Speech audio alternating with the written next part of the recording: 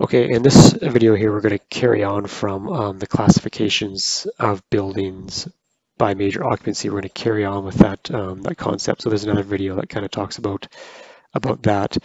Um, but we need to look at what happens when you have multiple occupancy classifications when you're trying to uh, figure out the construction safety requirements for your building. So just as a, a recap, um, we looked at 312 in another video here where you figured out the, you know, saw the different classifications um, in the code and then the fire separations between, uh, between those major occupancies, basically. Now we're just going to cruise ahead to um, section 3.2 and um, it's in section 3.2.2 and so in section 322 we're going to zoom ahead here to 3.2 four, which is buildings with multiple major occupancies. And then basically 3224 just tells you that um, if you have a single occupancy, so you have a building that's all group D or whatever, then it's just this section is going to tell you um, the safety requirements for the um, for the building based on building height and building area. And uh, number two says, okay, well, what if you have more than one major occupancy? So you have a maybe a group D building and a group E in that building as well. And then it tells you that, uh, okay, well, you got to look at sections 225, 228 to understand what to do there. And so in 3225, this is really important here. So in determining the fire safety requirements of a building in relation to each of the major occupancies contained therein, the building height and building area of the entire building shall be used. Okay, so what that's saying is if you have a group D in a building and a group E in the same building, you're going to consider the building area of the entire building for each one of those major occupancies. So let's just take a look at that um, graphically here. So if we had a building that looked like this in plan and we had a group, um, say D occupancy on this side and a group E occupancy on this side, if this entire footprint of this building, let's just say was a thousand square meters, then this would be a thousand square meter group E building and it'd be a thousand square meter group D building. That's what that article's saying. And if you had three three um, uses in there, same thing would apply. Now there are some exceptions to that called the minor occupancy, which we'll get to later, but let's just say we did this and we had a group E down here, so you had a closed store, maybe you got a dentist in there, and maybe you got a restaurant on this end. So again, if this was a thousand square meter building area, then um, what that article is telling you is that you have a thousand square meter group E building, a thousand square meter group D building, and a thousand square meter A2 building.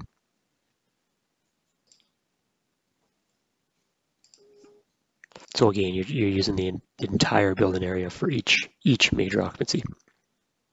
And then sentence 3226 just says, okay, well, if you have these multiple major occupancies, um, each one of those different uses in here. So you're, you know, when, when we go to class of, or figure out the safety requirements for the building, we're going to look at it from an E standpoint of a thousand square meters. We're going to look at it at a D standpoint of a thousand square meters and an A2 at a thousand square meters. And then what, what sentence 3226 is saying is that you're going to take the most restrictive requirement um, and apply it to that building. And again, in there it just says, um, so you take the most uh, restricted major occupancy contained shall apply to the whole building. now let's just take a look at a situation of superimposed major occupancies.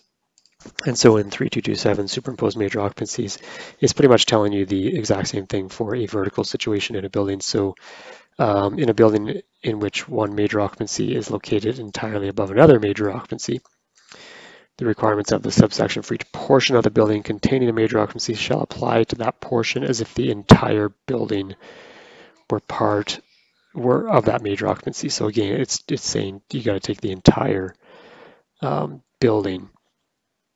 But it is also important to note here that it says the requirements of the subsection for each portion of the building containing a major occupancy shall apply to that portion as if the entire building were of that major occupancy. So let's just take a look at this situation. So um, say you have a building that's three stories here and the main floor has got an E use and the upper floors are residential, so C groups. So basically, in this case, you know, let's just say it was um, 800 square meter building area. So you would have a, you would be looking at the construction requirements of this building as a 800 square meter E building, three stories, a three-story 800 square meter C building, and a three-story 800 square meter or C building, I guess. Again, um, you know, but it could be again like like in the previous one, we could say, well, what if what if there's um, offices on the second floor and then residential on the top floor?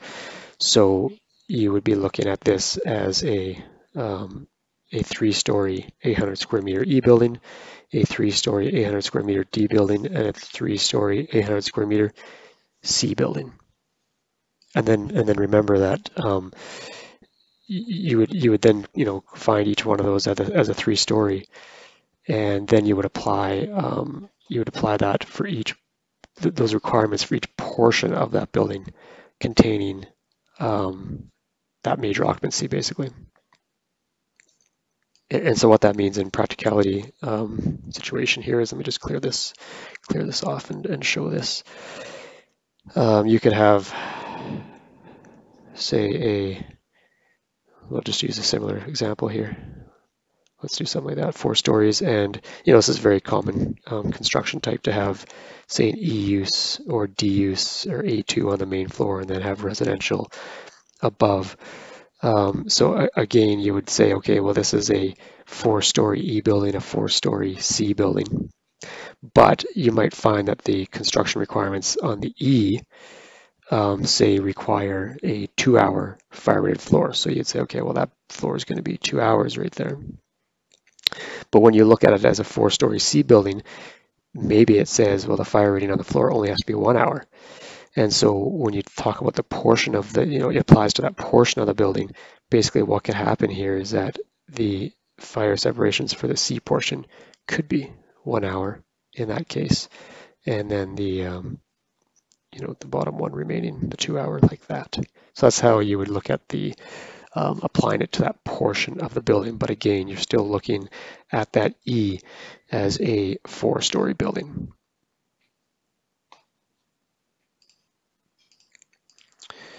And then sentence two just talks about if, if um, you have one major occupancy over top of another one, uh, the fire resistance rating of the floor assembly between the major occupancies shall be determined on the basis of the requirements of this subsection for the lower major occupancy. So in, in that case, um, you know, you, I, guess you could say if, if the, let's reverse this, let's just say that you um, did a little bit of homework on this and you figured out that this building as a four-story E only needed one hour. Let's say, and you did your investigation, and this bill and the and the the C as a four-story, let's say, needed two hours. Then you would apply. That would be okay to apply there because you're applying it based on the lower um, the lower occupancy the lower major occupancy basically. But that's kind of a bad example because it's actually not usually that way. If you get into those mixed use buildings, it's, it's the other way around. Once you do your homework, you'll realize that that's probably going to be the two hour or what have you. And these ones will be the one hour, if I remember correctly off the top of my head. But nonetheless, that's that's what it's saying basically. K3228 um, exceptions for major occupancies. So this one here, um, the building code doesn't use the terminology um, minor occupancy, but it's widely it's widely used. At least um, it was in, my world. And so the, with the exceptions, it basically just says, okay, well if you have a if you have an occupancy um, of a building, but that occupancy is less than 10% of the floor area of the story that it's in, then you don't need to consider that major occupancy as a major occupancy, basically, or that occupancy as a major occupancy. So that's where the term kind of minor occupancy comes in. So just looking at that scenario, you know, you, you could have a building that looks like this, let's say, and there's a unit right here on the main floor that's maybe, a, you know, maybe it's a coffee shop or something like that. So A2. And then um, maybe this is an E right here, and again, this is a D right here. If, if the um, entire building area of this was a thousand square meters again. But this space right here was only 90 square meters. then that, that 90 square meter space is less than 10% of this whole floor area. So, so basically what it's saying is that this would just be a 1,000, for the purposes of, of classifying, you know, the overall building safety requirements, um, this would just be a 1,000 square meter E building and a 1,000 square meter D building you would not have to look at this as a 1,000 square meter A2 building because that that is less than that 10% of the of the area of that floor area, basically.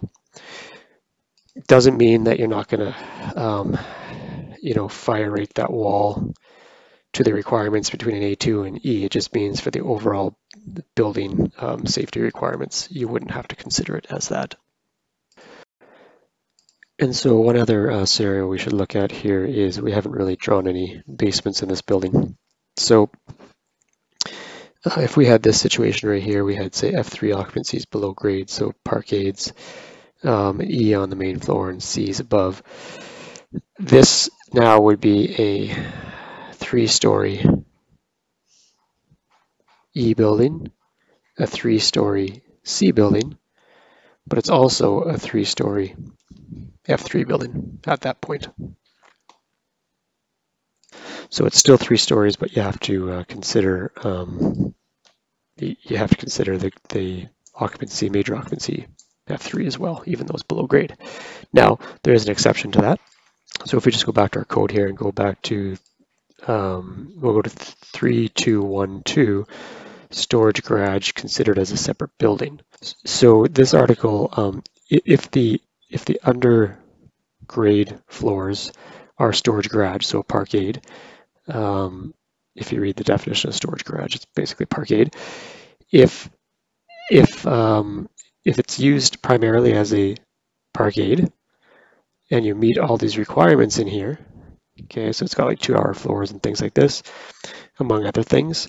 If you apply all these requirements in this section here to the floors below grade, then this article saying then you don't need to consider it as part of that building. So back to here, if you were to apply 3.1 or 3212, so let's just say that, so for this portion here,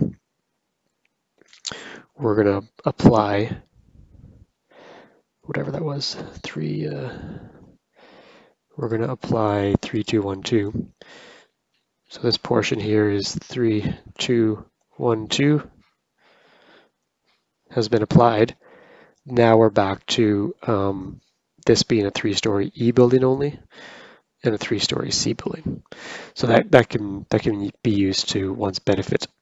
However, sometimes when you calculate this, like if you might look at it and say, well, as a three-story F3 building, maybe it didn't it didn't cause any um, any more restrictive requirements on the building, so um, you might not have to apply um, um, this this article 3212, but um, it, it is used widely, I would say, in um, you know um, high-rise buildings with parkades underground. And then I'm just gonna move ahead here to 32215 because this one's kind of important. So if you have stories below ground, I mean, obviously, if you're using that 3212 sentence, then those those requirements would apply. But if you just have other stories below ground, like maybe it's not a parkade, right? So 3212 is very specific to it being a storage garage or, or parkade. So what if you have something else down there? Well, then you'd go to 32215, and then this would um, give the requirements basically for the for the floors below ground, basically. So this is going to supersede um, some other findings elsewhere for, I guess, the stories um, above ground because this sentence is specific to stories below ground. And that uh, summarizes multiple major occupancies. And, um, you know, the next video we have in relation to this will start to move us into um, the sections between 32220 to 32290, I think it is, um, where you, you look at your major occupancies and you start um, figure figuring out what the requirements are based on um, again the the major occupancies in the building, how many stories it is, the building area, and sometimes um, how many streets it faces.